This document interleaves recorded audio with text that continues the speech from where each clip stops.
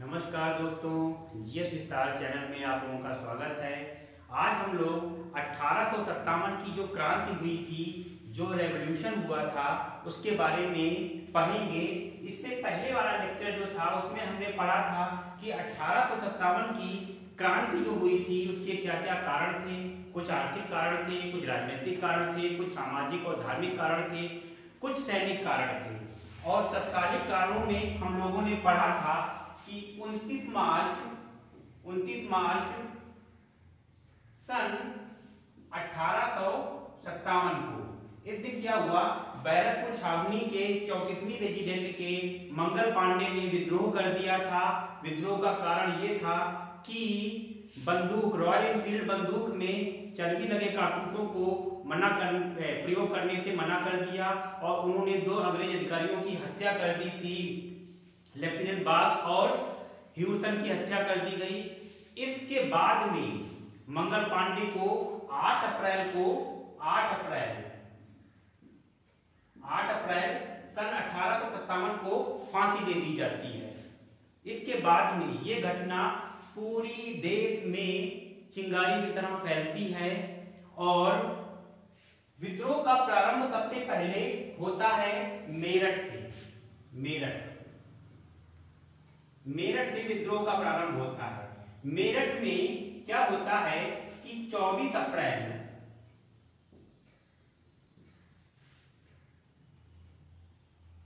24 अप्रैल सन अठारह को क्या होता है?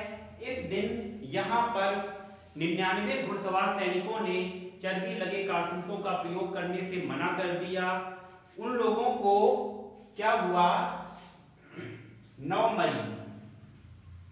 9 मई को निन्यानवे सैनिकों को क्या किया जाता है?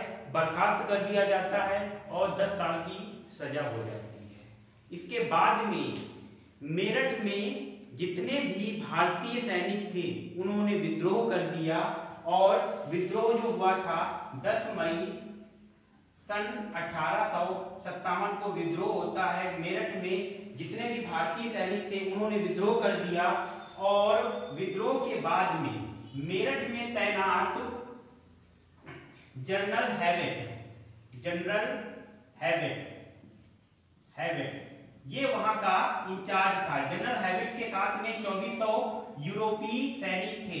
इन्होंने इस तूफ़ान को रोक पाने का कोई भी प्रयास नहीं किया। यानी जो विद्रोह हुआ था, सैनिकों ने जो विद्रोह किया था, इसको जनरल हैविट ने नहीं रोका।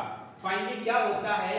10 अप्रैल के बाद में ये विद्रोह, यानी भारतीय सैनिक जो होते हैं 11 सॉरी 10 मई को 10 मई को विद्रोह होता है 11 मई को 11 मई को ये विद्रोही दिल्ली पहुँचते हैं, दिल्ली। और दिल्ली में 12 मई को, दिल्ली को अंग्रेज़ों से स्वतंत्र करा लिया जाता है। 12 मई को दिल्ली को अंग्रेज़ों से स्वतंत्र करा लिया जाता है।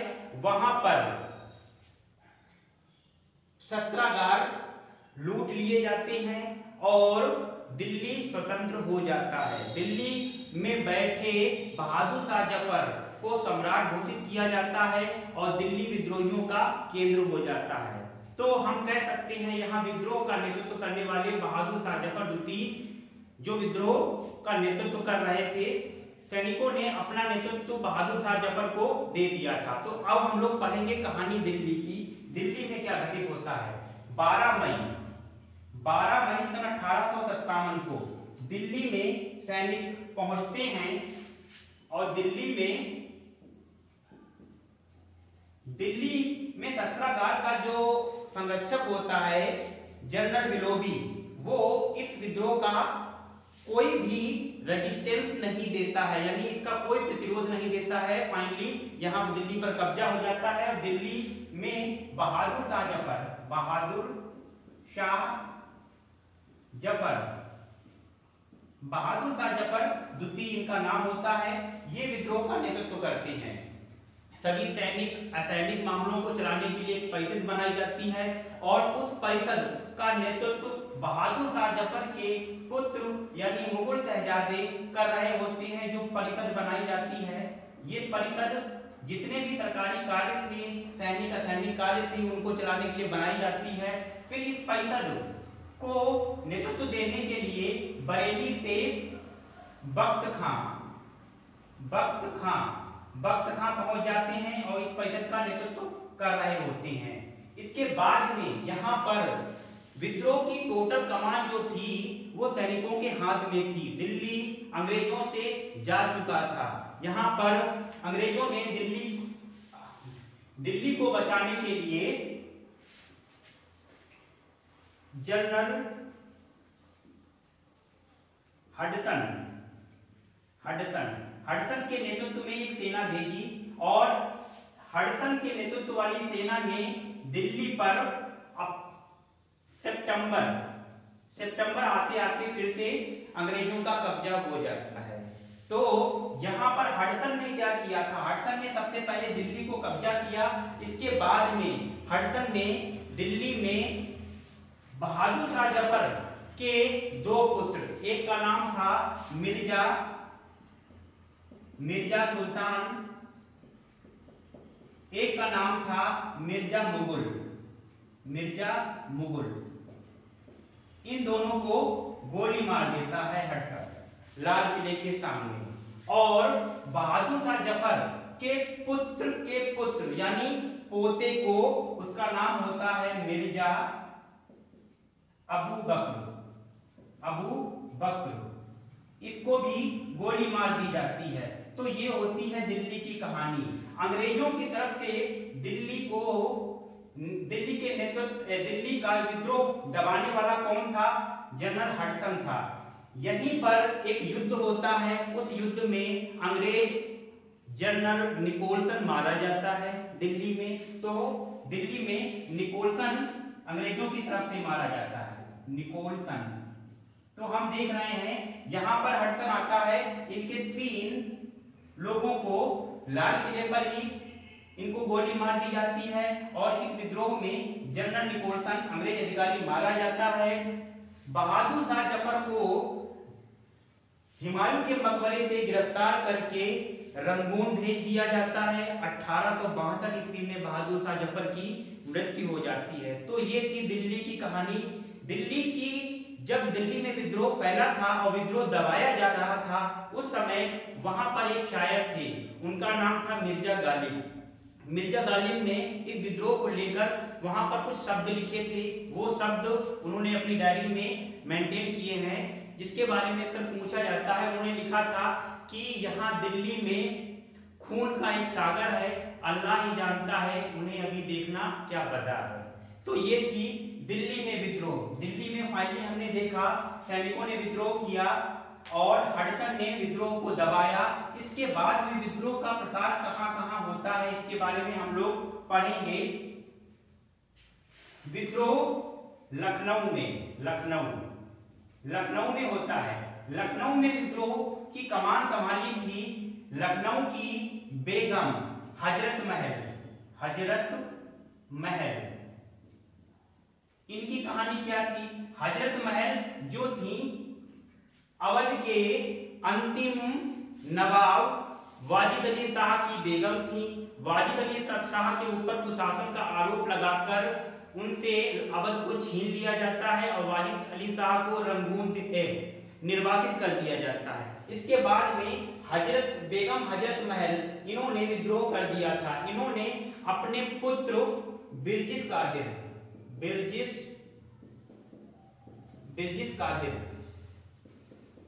ये अपने पुत्र ब्रिटिश कादिर को नवाब बनाना चाहती थी, लेकिन अंग्रेज़ों के मना करने पर इन्होंने विद्रोह कर दिया। इनका साथ देने के लिए फैजाबाद से मौलवी अहमद उल्ला खान इनका साथ दे रहे थे। बेगम हज़रत महल हाथी पर बैठकर पूरे अवध का नेतृत्व कर रही थी, यानी पूरे अवध में जो विद्रोह हुआ था उसका नेतृत्व कर रही थी। उस समय अवध का कोई, शायद ही कोई ऐसा सूबा रहा हो जहाँ पर विद्रोह ना हुआ हो।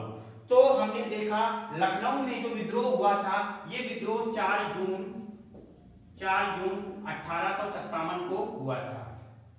यहाँ पर विद्रोह की कमान बेगम हज़रत महल ने संभाली थी। बेगम हज़रत महल ने संभाली थी। लखनऊ का विद्रोह दबाया जाता है जनरल कैंपेबल के द्वारा। Campbell Campbell Campbell general Campbell ने लखनऊ का विद्रोह दबाया था। तो हमें ज़्यादा कुछ इसमें नहीं। विद्रोह अब स्टार्ट कानपुर में। कानपुर। कानपुर में विद्रोह जो प्रारंभ हुआ था, वो 5 जून अठारह सौ सत्तावन को प्रारंभ हुआ था। कानपुर में विद्रोह का नेतृत्व करने वाले नाना साहब थे। नाना साहब। नाना साहब जो थे, ये पेशवा बाजीराव द्वितीय के दत्तक पुत्र थे। इन्होंने विद्रोह किया था। इनका रियल नेम धोंधु पंत था। धोंधु पंत। धोंधु पंत इनका रियल नेम था। इन्होंने विद्रोह की कमान संभाली थी यहाँ पर और इनका साथ देने के लिए, नाना साहब का साथ देने के लिए इनके कमांडर इन चीफ जो थे, वो तात्या टोपे थे। तात्या टोपे। तात्या टोपे ने इनकी मदद की थी कानपुर को अंग्रेज़ों से स्वतंत्र कराने के लिए। कानपुर में विद्रोह हुआ था पाँच जून को। नाना साहब ने यहाँ विद्रोह की कमान संभाली थी। इसके बाद में कानपुर का विद्रोह दबाने वाला जनरल कैंपेबल था। जनरल कैंपेबल कैंपेबल, इसने यहाँ पर विद्रोह को दबाया था। टोपे यहाँ पर जब विद्रोह को दबा दिया गया तो तात्या टोपे महारानी लक्ष्मीबाई की सहायता करने के लिए ग्वालियर चले जाते हैं।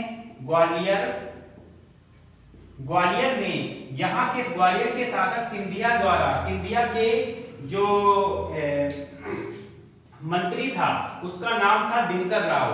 दिनकर राव ने तात्या टोपे को ग्वालियर में अंग्रेज़ों के हाथ पकड़वा दिया गया।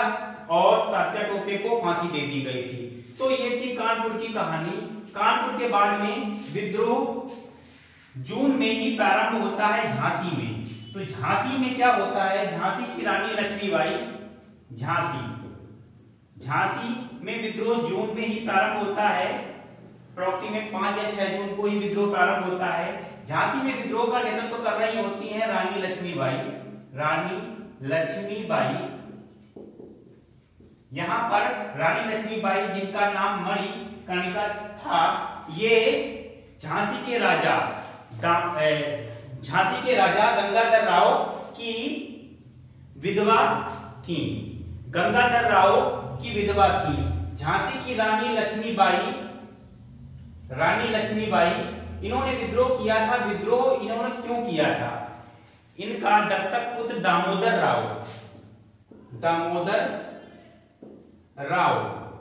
ये अपने दत्तक पुत्र दामोदर राव को शासक बनाना चाहती थी, लेकिन डलहौजी की गोद निषेध की प्रथा के कारण ये दामोदर राव को शासक नहीं बना पाई, जिसके कारण महारानी लक्ष्मीबाई ने विद्रोह कर दिया। विद्रोह जून में हुआ था। इसके बाद में रानी लक्ष्मीबाई को जनरल ह्यूमसन ने, जनरल ह्यूसन ह्यूसन ने इनके किले में घेर लिया जब इन्होंने विद्रोह किया। तो ह्यूसन ने रानी लक्ष्मीबाई को उनके किले में घेर लिया। रानी लक्ष्मीबाई आठ दिन तक वहाँ पर ह्यूसन की सेना से युद्ध करती रही। इसके बाद में ह्यूसन को रानी लक्ष्मीबाई के किले का भेद मिल जाता है। वहीं के शासक, यानी झांसी के किसी गद्दारों ने रानी लक्ष्मीबाई के किले का भेद दे दिया होता है ह्यूसन को, और ह्यूसन रानी लक्ष्मीबाई के किले में घुस जाता है, जिसकी वजह से रानी लक्ष्मीबाई वहाँ से भागकर कालपी चली आती है। कालपी, ये भी जगह बुंदेलखंड में ही पड़ती है। कालपी में इनका युद्ध होता है ह्यूसन से, ह्यूसन की सेना से, क्योंकि ह्यूसन की सेना इनका पीछा करते करते कालपी पहुँचती है। वहाँ पर ह्यूसन की सेना से जब ये हार जाती हैं तो रानी लक्ष्मीबाई पहुँचती हैं ग्वालियर। ग्वालियर यहीं पर तात्या टोपे ने इनका साथ दिया था, ग्वालियर। और ग्वालियर के जो शासक थे, उनका नाम सिंधिया था। सिंधिया सिंधिया हालाँकि इनका टाइटल था। तो सिंधिया ने, सिंधिया जो था, वो अंग्रेज़ों से मिला हुआ था। पर सिंधिया की सेना जो थी, सेना, वो महारानी लक्ष्मीबाई से मिल गई ग्वालियर में। और ग्वालियर में यहाँ पर अंग्रेज़ों की सेना को महारानी लक्ष्मीबाई की सेना और महारानी लक्ष्मीबाई ने पराजित कर दिया। सिंधिया भले ही यहाँ अंग्रेज़ों से मिला हुआ था, लेकिन सिंधिया की सेना जो थी, वो महारानी लक्ष्मीबाई से मिली हुई थी और रानी लक्ष्मीबाई ने ग्वालियर में अंग्रेज़ों को पराजित किया था। लेकिन यहाँ पर ग्वालियर में जब अंग्रेज़ पराजित होने लगे तो उस समय का जो गवर्नर जनरल था, लॉर्ड कैनिंग, उसने और ज़्यादा आर्मी भेज दी झांसी के लिए। यानी झांसी को आर्मी डिप्लॉय कर दी जाती है। और यहाँ पर जनरल भूषण को जब और ज़्यादा आर्मी अन्य स्थानों से प्राप्त हो जाती है तो ग्वालियर में रानी की पराजय हो जाती है और रानी वीरगति को प्राप्त हो जाती है। यानी रानी की यहाँ पर डेथ हो जाती है। तो इस तरह से हमने देखा, झांसी में विद्रोह करता कौन थी? रानी लक्ष्मीबाई थी। यहाँ पर विद्रोह को दबाने वाला कौन था? ह्यूरसन था। तो ये झांसी की कहानी थी। अब हम लोग जहाँ जहाँ विद्रोह हुए हैं, उनकी बात करते हैं। भारत में विद्रोह जो हुए हैं, वो ज़्यादातर जो अठारह का विद्रोह हुआ था, वो उत्तर भारत में ही हुआ था। उत्तर भारत में हम बात करते हैं पटना की। पटना। पटना से पहले हम बात करते हैं बिहार में कहाँ कहाँ विद्रोह हुआ था। बिहार में विद्रोह हुआ था जगदीशपुर में। जगदीशपुर पटना में विद्रोह हुआ था और गया में विद्रोह हुआ था।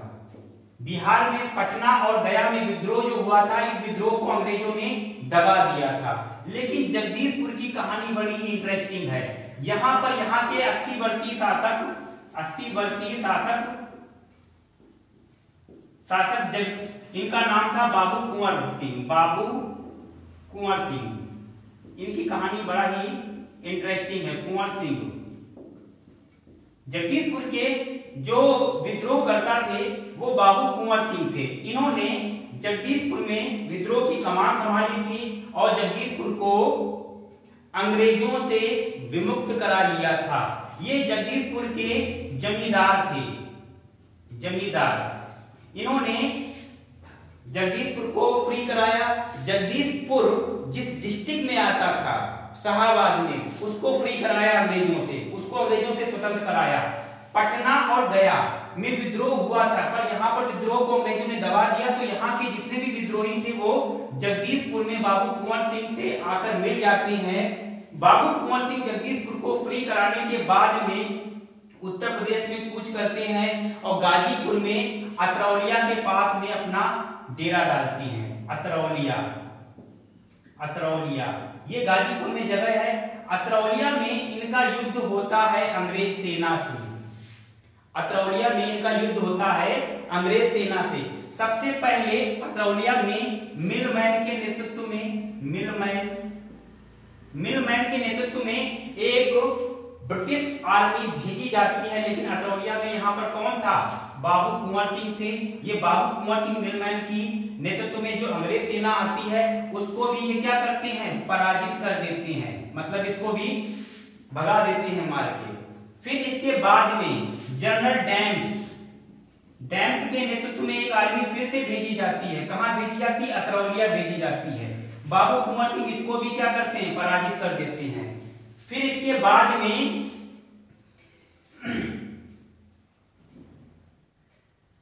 मार्क मार्क के नेतृत्व में एक आर्मी मार्क और डैम्स के नेतृत्व में एक आर्मी, दोनों के नेतृत्व में एक आर्मी भेजी जाती है अतरौलिया। बाबू कुंवर सिंह इनको भी पराजित कर देते हैं।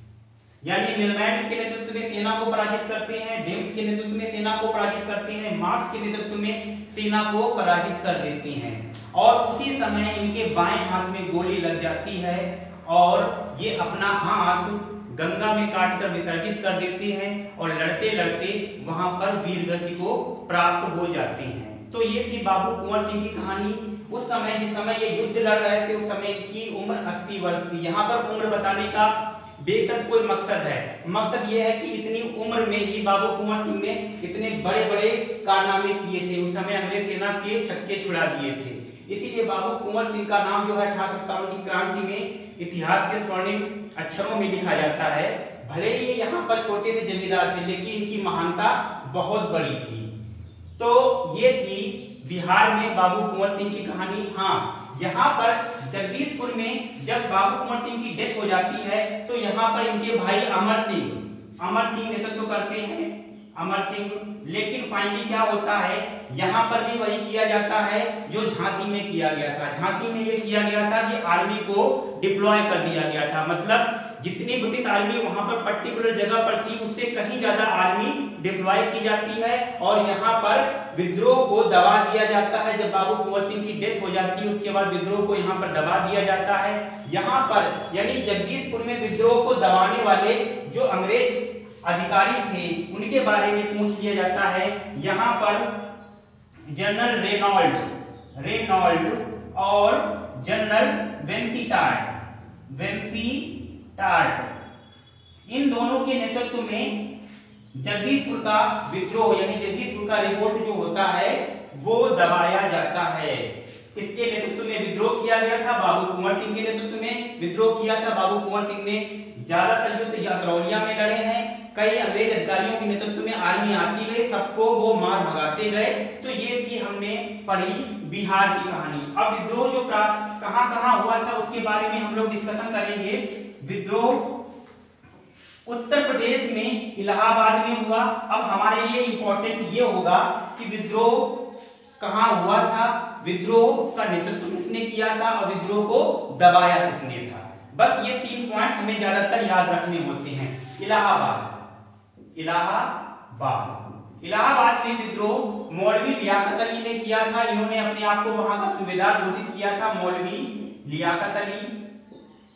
लियाकत अली। इन्होंने यहाँ पर विद्रोह किया था। इलाहाबाद में विद्रोह को दबाने वाला कौन था? General General Neill. ये यहाँ पर विद्रोह को दबाता है। ये मैं चार्ट बना दे रहा हूँ। इसको आप लोग लिख लीजिएगा। इलाहाबाद। इसके बाद में हम लोग देखेंगे फैजाबाद। फैजाबाद। फैजाबाद में विद्रोह का नेतृत्व करता मौलवी अहमदुल्ला खां अहमद अहमद उल्ला खां उल्ला खां मौलवी अहमदुल्ला खां ने विद्रोह किया था और इन्होंने अवध में बेगम हज़रत महल का भी साथ दिया था। जब बेगम हज़रत महल ने सरेंडर नहीं किया और वो नेपाल चली गई, उसके बाद में मौलवी अहमदुल्ला खां अंग्रेज़ों से गोरिल्ला वार करते रहे, क्योंकि अवध को तो अवध में विद्रोह को दबा दिया गया था। अवध में विद्रोह को कैंपमेल ने दबाया था और अवध में विद्रोह में जो युद्ध हुआ था, उस युद्ध में जनरल लॉरेंस रेजिडेंसी का जो नेतृत्व करता था, यहाँ जो रेजिडेंसी है, वहाँ पर जो नेतृत्व कर रहा था जनरल लॉरेंस की हत्या हो गई थी। मौलवी अहमदुल्ला खां वहाँ से फरार हो गए, लेकिन यहाँ पुमाया के राजा ने मौलवी अहमदुल्ला खां को अंग्रेज़ों के हाथ सौंप दिया था और फाइनली इनका अंत हो जाता है। यहाँ पर फैजाबाद में विद्रोह को दबाने वाला कैंपबेल था। हम लोग यहाँ पर लिखेंगे कैंपबेल कैंपबेल कैंपबेल था। बात करते हैं बरेली की। बरेली में विद्रोह किया था खान बहादुर खान ने। खान बहादुर बहादुर खान ने। खान बहादुर खान बरेली में विद्रोह खान बहादुर खान जो थे, ये ये वहाँ पर रोयल खंड से संबंधित थे। रोयल खंड के जो शासक थे, उनके खानदानी थे ये। तो यहाँ पर नेतृत्व खान बहादुर खान ने किया था। यहाँ विद्रोह को दबाने वाला कैंपिबेल था। मथुरा में विद्रोह हुआ था। मथुरा में मथुरा में विद्रोह देवीलाल ने किया था। देवीलाल गोरखपुर में विद्रोह हुआ था। गोरखपुर गोरखपुर में विद्रोह हुआ था। विद्रोह के नेतृत्व तो करता जो थे गजेंद्र सिंह थे। गजाधर सिंह या गजाधर सिंह। गजाधर सिंह थे। ये तो उत्तर प्रदेश में जो विद्रोह हुए थे, उनकी बात हो गई। अब हम बात कर रहे हैं असम में विद्रोह हुआ था असम में असम में जो विद्रोह हुआ था, वो विद्रोह के दो लोग थे। विद्रोह का नेतृत्व करने वाले दो लोग थे। एक का नाम था करपेंद्र सिंह करपेंद्र सिंह और मनीराम मनीराम। ध्यान देना, यहाँ पर जो मनीराम थे, इनको गिरफ़्तार कर लिया गया और कलकत्ता में इनको फांसी दे दी गई थी। मणिराम को कलकत्ता में फांसी दे दी गई थी। असम में विद्रोह करता करपेंद्र सिंह थे और मणिराम थे। उड़ीसा में उड़ीसा में उड़ीसा में विद्रोह के नेतृत्व करता उज्जवल शाही उज्जवल शाही और सुरेंद्र शाही थे। सुरेंद्र शाही। उज्जवल शाही ने यहाँ विद्रोह किया था, बाद में इन्होंने सरेंडर कर दिया। इसके बाद में इनको निर्वासित कर दिया गया था मतलब देश से निकाल दिया गया था। तो ये उड़ीसा की बात हो गई। हम बात कर रहे हैं राजस्थान की। इसको मैं मिटा रहा हूँ। राजस्थान की। राजस्थान में विद्रोह जो हुआ था वो कोटा में हुआ था। स्पेशली पूछ लिया जाता, राजस्थान में विद्रोह का केंद्र क्या था? वो था कोटा। कोटा में दो लोगों ने विद्रोह किया था। जयदयाल जयदयाल और हरदयाल। हरदयाल। इन दो लोगों ने विद्रोह किया था। ध्यान दीजिएगा, जयदयाल को गिरफ़्तार कर लिया जाता है और इनको सजाए मौत दी जाती है। सजाए मौत कैसे दी जाती है? जयदयाल को तोप के आगे बाँध कर तोप से उड़ा दिया जाता है। जब यहाँ विद्रोह शांत किया जाता है तो जयदयाल को तोप से उड़ा दिया जाता है। तोप के मुख के सामने इनको बांधा जाता है। तो इस तरह के वीर भारत में हुए हैं। कश्मीर में भी विद्रोह हुआ था। कश्मीर कश्मीर में विद्रोह हुआ था। विद्रोह के नेता जो यहाँ थे इनका नाम हम्म, महेंद्र प्रताप समथिंग करके थे, नाम याद नहीं आ रहा है तो फ़िलहाल। तो हमने देखा, विद्रोह कहाँ कहाँ हुआ था? उत्तर भारत में विद्रोह हुआ था। बेसिकली उत्तर प्रदेश और बिहार में विद्रोह हुआ था। उड़ीसा में कुछ जगह विद्रोह हुआ था और असम में विद्रोह हुआ था। विद्रोह का जो प्रसार था, वो प्रसार ये हो गया। अब हम लोग पढ़ेंगे, वो जो अठारह की क्रांति को दबा दिया गया। यानी अठारह की क्रांति असफल हो गई तो असफलता के कारण यानी असफलता के कारण क्या क्या है, ये हम लोग पढ़ेंगे। अब हम लोग चर्चा करेंगे असफलता यानी अठारह के विद्रोह के असफल होने के क्या कारण थे, यानी इसकी असफलता के कौन कौन से कारण थे? पहला कारण है विद्रोह का सीमित स्वरूप। विद्रोह का सीमित स्वरूप जैसे जो विद्रोह हुआ था, वो 10 मई को स्टार्ट हो गया था, लेकिन विद्रोह की घोषणा जो की गई थी, वो 12 मई को की गई थी। यानी समय से पहले ही विद्रोह प्रारंभ हो जाता है, और विद्रोह जो था, वो कुछ ही जगह पर फैल पाया। सब जगह पर यानी ये अखिल भारतीय रूप नहीं ले सका। पैन इंडिया रिवोल्ट नहीं था, क्योंकि हमने देखा, ये विद्रोह उत्तर प्रदेश में अधिकतम जगहों पर फैला हुआ था, बिहार में कुछ जगहों पर फैला हुआ था। इसके बाद में संपूर्ण भारत में नहीं फैला हुआ था। जैसे कि बंगाल हो गया, जैसे कि पंजाब हो गया, जैसे कि दक्षिण भारत हो गया, जैसे कि उड़ीसा हो गया तो इन सभी जगहों पर विद्रोह जो था वो नहीं फैल सका। सीमित विद्रोह रहा। अधिकतर जगह पर शांति बनी रही। तो ये हम कह सकते हैं कि विद्रोह का जो स्वरूप था, वो सीमित था लिमिटेड था। दूसरा पॉइंट है देसी नरेश एवं सामंतों की गद्दारी। इसका मतलब क्या है? जैसे कि हमने देखा झांसी की रानी लक्ष्मीबाई। अंग्रेज़ों से युद्ध हार जाती हैं। कारण क्या था? ग्वालियर के शासक सिंधिया, जो कि अंग्रेज़ों से मिले हुए थे, उन्होंने महारानी लक्ष्मीबाई को ही नहीं हरवाया, तात्या टोपे को भी पकड़वाया था। ऐसे ही कई शासक थे, जैसे कि भोपाल की बेगमें। ये जो थी, अंग्रेज़ों से मिली हुई थी। जैसे कि दक्षिण भारत में हैदराबाद का निज़ाम सल्लार जंग वो अंग्रेज़ों से मिला हुआ था।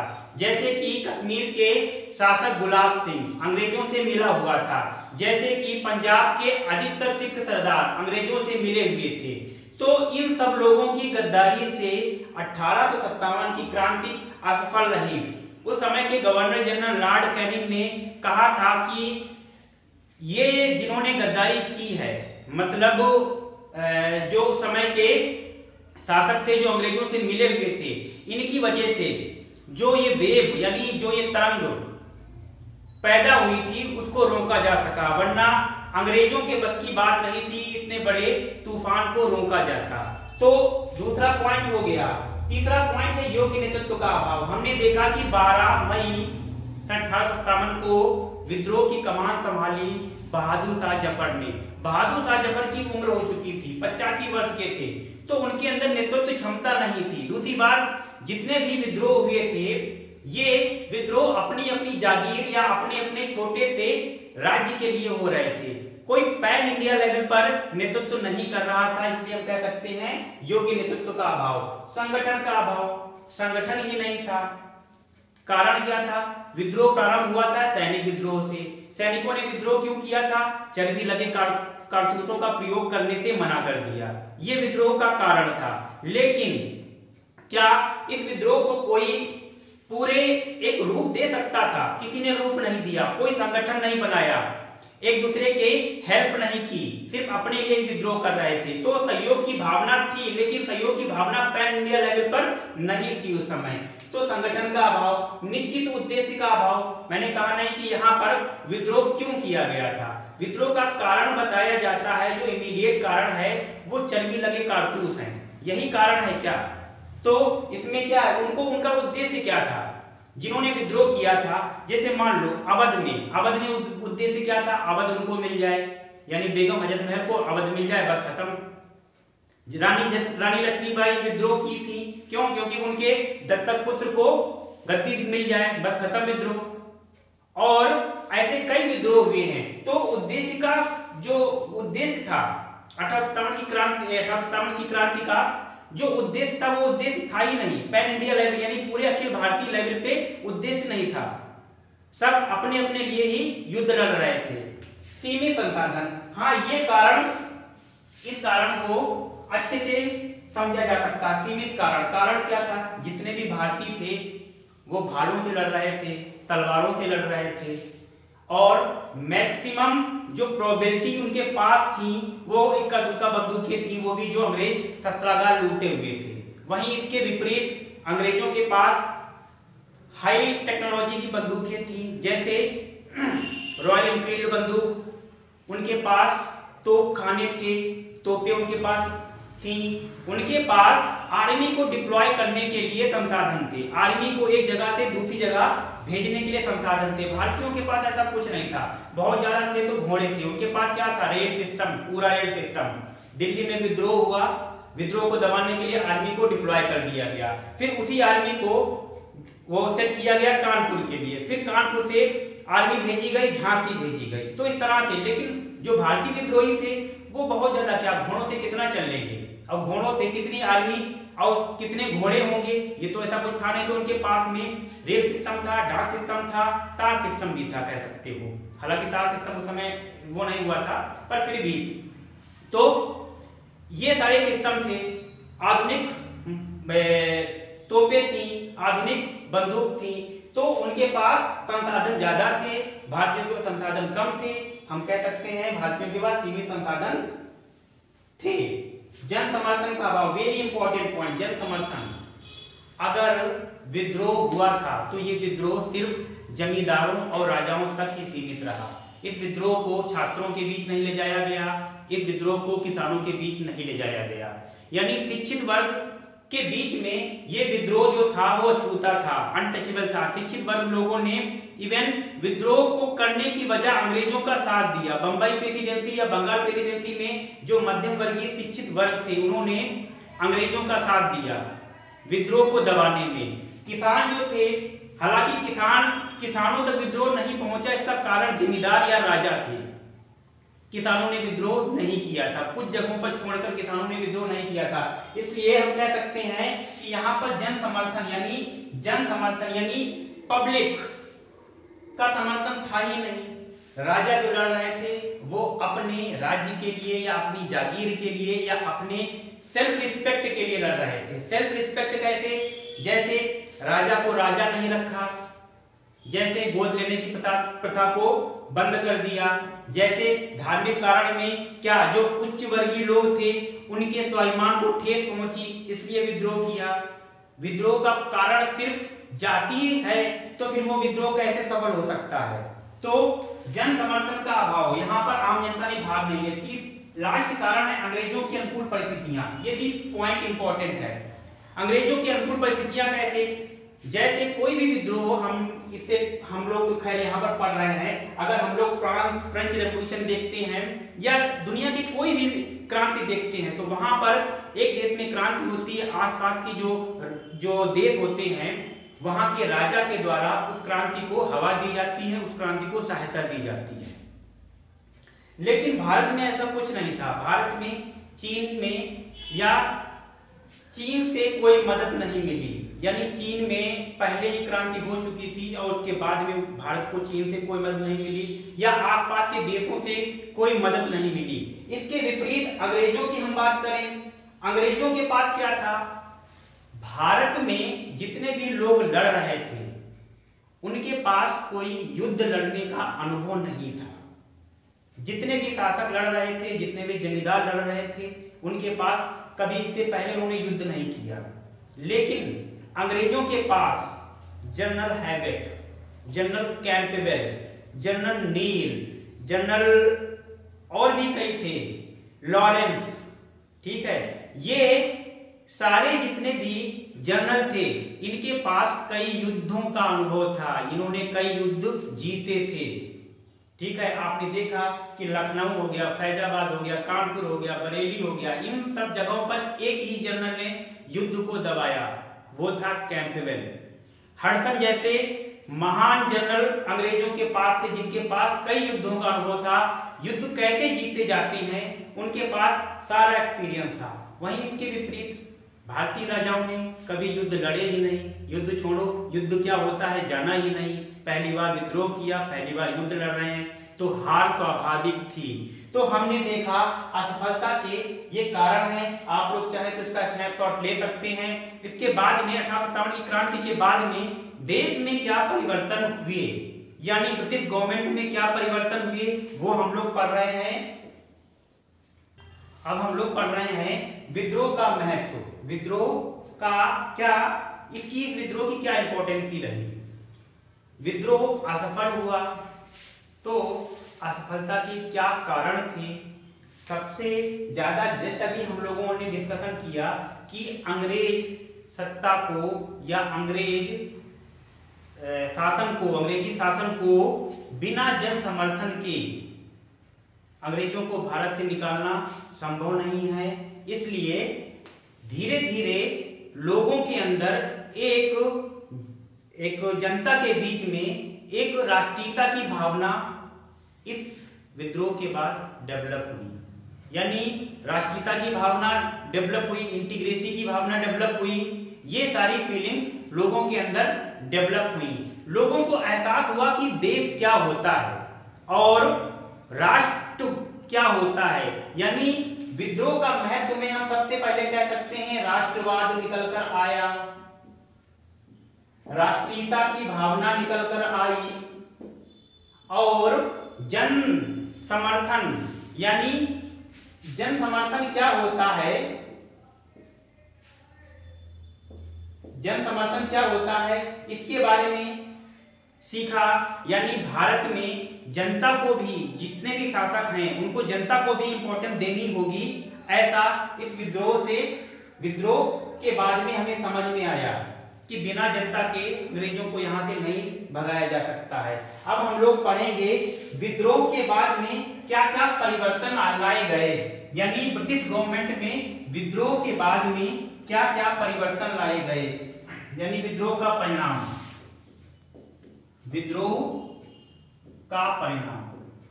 परिणाम। परिणाम क्या था? देखना। अब हम लोग बात करेंगे विद्रोह के परिणाम में अठारह में ये विद्रोह हुआ। लेकिन सन 1947 में भारत से अंग्रेज़ों को विदा किया गया। यानी अंग्रेज़ों ने भारत 1947 में छोड़ा था। तो इस समय से, इस समय के बीच में उन्होंने जो राज किया है, वो राज कैसे किया है, इसको लेकर सबसे पहले भारत में अठारह तक कंपनी का शासन था। यानी ब्रिटेन में एक शासक होता था और वहाँ की पार्लियामेंट थी, लेकिन भारत में जो शासन हो रहा था, वो ईस्ट इंडिया कंपनी के द्वारा हो रहा था। ईस्ट इंडिया कंपनी के डायरेक्टर्स के द्वारा हो रहा था और ईस्ट इंडिया कंपनी पर ब्रिटिश पार्लियामेंट का नियंत्रण भी था। लेकिन शासन तो ईस्ट इंडिया कंपनी का ही था। इसमें क्या हुआ? ईस्ट इंडिया कंपनी, यानी कंपनी का जो भी शासन था कंपनी की, शक्ति थी कंपनी का विजित क्षेत्र थे विजित क्षेत्र थे, या कंपनी का भारत में मुखिया गवर्नर जनरल था, इन तीनों में परिवर्तन किया गया। विद्रोह के बाद में रानी विक्टोरिया का घोषणा पत्र इलाहाबाद में पढ़ा जाता है। उस घोषणा पत्र में ये बातें थी कि कंपनी का शासन अब सीधे किसके हाथों में जाता है? ब्रिटिश क्राउन के हाथों में जाता है। कंपनी का शासन ब्रिटिश क्राउन के हाथों में जाता है। और कंपनी की पावर, कंपनी का एरिया, कंपनी का गवर्नर जनरल, ये सब किसके अधीन हो जाएगा? ब्रिटिश क्राउन के अधीन हो जाएगा। यानी कंपनी अब किसके अंडर में आ चुकी थी? यानी कंपनी का जो भी था, वो ब्रिटिश क्राउन यानी ब्रिटिश सत्ता। ब्रिटिश ताज। ब्रिटिश ताज के अंदर में ये सब आ चुका था। अब उस समय ब्रिटिश ताज यानी उस समय महारानी विक्टोरिया थी। महारानी विक्टोरिया, यानी महारानी विक्टोरिया का घोषणा पत्र पढ़ा जाता है। इसके बाद में क्या हुआ? कंपनी का जो गवर्नर था उसका नाम चेंज करके इसको दे दिया गया नाम viceroy. Viceroy. Viceroy कहा जाने लगा? वायस राय जो था, वो ब्रिटिश क्राउन का एक प्रतिनिधि। प्रतिनिधि था। प्रतिनिधि के तौर पर था। पहले गवर्नर जनरल कौन नियुक्त करता था? Board of director. Board of director नियुक्त करता था। बोर्ड ऑफ़ डायरेक्टर कौन था? बोर्ड ऑफ़ डायरेक्टर जो था, वो कंपनी के सबसे बड़े शेयर होल्डर्स की एक टीम थी। वो गवर्नर जनरल की नियुक्ति करती थी। लेकिन अब गवर्नर जनरल को चेंज कर दिया गया। यानी जो लॉर्ड कैनिंग थे, उनको वायस राय बना दिया गया और वो ब्रिटिश क्राउन के प्रतिनिधि के तौर पर कार्य करेंगे। यह परिवर्तन किया गया। साथ में प्रशासन में एक और परिवर्तन किया गया था, वो परिवर्तन था कि एक नई परिषद बनाई गई, जिसे भारत सचिव परिषद कहा गया। पहली बात तो एक नई पोस्ट बनाई गई थी। उस पोस्ट को भारत सचिव पोस्ट कहा गया। भारत सचिव पोस्ट, भारत सचिव पोस्ट बनाया गया। ये भारत सचिव पोस्ट क्यों बनाई गई? ध्यान दीजिएगा कंपनी को डायरेक्ट करने के लिए दो बोर्ड हुआ करते थे। एक बोर्ड ऑफ़ कंट्रोल और एक बोर्ड ऑफ़ डायरेक्टर, यानी एक निदेशक मंडल और एक नियंत्रण मंडल। बोर्ड ऑफ़ डायरेक्टर, ये निदेशक मंडल थे। निदेशक मंडल थे। बोर्ड ऑफ़ कंट्रोल, ये नियंत्रक थे, यानी कंपनी को कंट्रोल करते थे भारत में। नियंत्रक। नियंत्रक थे। इन दोनों बोर्ड को खत्म कर दिया गया। इन दोनों की जगह पर भारत सचिव एक नई पोस्ट बनाई गई और भारत सचिव को सलाह देने के लिए पंद्रह सदस्यों की एक टीम बनाई गई, जिसे कहा गया भारत सचिव की परिषद परिषद जो ये पंद्रह सदस्य थे, इन पंद्रह सदस्यों का चुनाव इस तरह से किया जाता था कि इनमें से सात सदस्यों का चुनाव बोर्ड ऑफ़ डायरेक्टर करता था यानी बोर्ड ऑफ़ डायरेक्टर यानी निदेशक मंडल, ये करते थे और आठ सदस्यों का जो चुनाव था, वो ब्रिटिश गवर्नमेंट या फिर कह सकते हैं ब्रिटिश पार्लियामेंट ब्रिटिश पार्लियामेंट के द्वारा होता था। तो ये प्रशासन में परिवर्तन किए गए थे। कुछ इस तरह से अब हम बात करते हैं कि कुछ और भी परिवर्तन किए गए। भारत में ये तो कंपनी में परिवर्तन किए गए थे। कंपनी के प्रशासन में जो परिवर्तन था, वो किया गया था। यानी कंपनी का रूल खत्म, भारत में सीधे ब्रिटिश क्राउन का रूल होगा। इसके बाद में ब्रिटिश उस समय जो राजकुमारी थी या ब्रिटिश शासिका थी, रानी विक्टोरिया थी, और उनके घोषणा पत्र में एक बात और थी कि जितने भी भारतीय राजा हैं, उनको अब गोद लेने की प्रथा जो निषेध कर दी गई थी, यानी भारतीय राजा गोद ले सकते हैं। डलहौजी ने हड़प नीति के तहत गोद लेने की प्रथा को निषेध कर दिया था, उसको फिर से भारतीय राजाओं को वापस कर दिया गया। अब दूसरा ये था कि भारत में कोई भी अब विस्तार नहीं किया जाएगा। किसी भी भारतीय राजा को अंग्रेज़ी क्षेत्र में नहीं मिलाया जाएगा। इस तरह का प्रावधान था उस घोषणा पत्र में। साथ में रजवाड़ों की स्थिति की बात की जाए तो रजवाड़े जैसे थे, वैसे ही रखे जाएँगे। अंग्रेज़ी क्षेत्र में नहीं मिलाए जाएँगे। तो रजवाड़ों की बात हो गई, भारतीय राज्यों की बात हो गई। सैनिकों में क्या परिवर्तन, यानी सैनिक व्यवस्था में क्या परिवर्तन लाया गया? ये सबसे बड़ा सैनिक व्यवस्था व्यवस्था। इसमें क्या परिवर्तन लाया गया? इसमें देखो, ये जो विद्रोह हुआ था, वो सैनिकों के कारण ही हुआ था। मूलतः ये सैनिक विद्रोह की संज्ञा भी इसे दी जाती है। पहले क्या होता था कि जो सेना थी, आर्मी, यानी ब्रिटिश आर्मी थी, सेना सेना में दो तरह के सैनिक होते थे। एक तो भारतीय सैनिक और यूरोपीय सैनिक। भारतीय सैनिकों की संख्या जो थी, वो उस समय पाँच अनुपात में थी। यूरोपीय सैनिकों की संख्या एक अनुपात में थी। यानी भारतीय यूरोपियों की जो संख्या थी, वो पाँच अनुपात एक थी। कब? विद्रोह से पूर्व।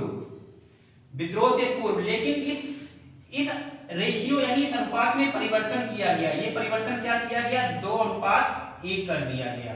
यानी पहले भारतीयों की संख्या दो लाख अड़तीस हज़ार अड़तीस हज़ार के आसपास थी ब्रिटिश आर्मी में। लेकिन अब कितनी कर दी गई? अब कर दी गई ये संख्या बदलकर एक लाख चालीस हज़ार कर दी गई। यानी यूरोपीय सैनिकों की संख्या और भारतीय सैनिकों की संख्या का अनुपात, दो अनुपात, एक रखा गया रखा गया। दूसरी बात, विद्रोह हुआ था। विद्रोह में पार्टिसिपेट यानी भाग लेने वाले अधिकतर विद्रोही सैनिक जो थे, वो उत्तर प्रदेश और बंगाल से थे। तो ये डिसाइड किया गया कि अब उत्तर प्रदेश और बंगाल से सैनिक नियुक्तियाँ बंद कर दी गई। उसकी जगह पर ये जो दो अनुपात में सैनिक थे, ये अधिकतर किन किन क्षेत्रों से थे? पंजाब से थे और नेपाल से थे। पंजाब, नेपाल नेपाल का मतलब उस समय उत्तराखंड भी इसी में आता था। ठीक है? यानी उत्तराखंड पंजाब, नेपाल या फिर जो पहाड़ी रीजन में जो लोग रहते थे गोरखा, उनको नियुक्ति दी गई। यानी सिख रेजिमेंट बनाई गई एक। सिख रेजिमेंट और यहाँ पर, यानी ये प्लस पहाड़ी जो क्षेत्र था, पहाड़ी क्षेत्र, इसको मिलाकर एक गोरखा रेजिमेंट बनाई गई। गोरखा। ये उसी समय से रेजिमेंट भी भारतीय इंडियन आर्मी में गोरखा रेजिमेंट सिख रेजिमेंट ये रेजिमेंट वो रेजिमेंट उसी समय ये मतलब अलग से रेजिमेंट बनाई गई रेजिमेंट बनाई गई थी। तो ये परिवर्तन सेना में किया गया। अब हम बात करते हैं, उन्होंने सांप्रदायिकता के माहौल को किस तरह से परिवर्तित किया। उस समय उन्होंने देखा कि यहाँ पर हम धर्म की बात कर रहे हैं। इसको मैं मिटा रहा हूँ। धार्मिक क्या परिवर्तन किए उन्होंने ये पाया था। देखो, एक कारण ये धार्मिक कारण भी था अठारह सत्तावन की विद्रोह का।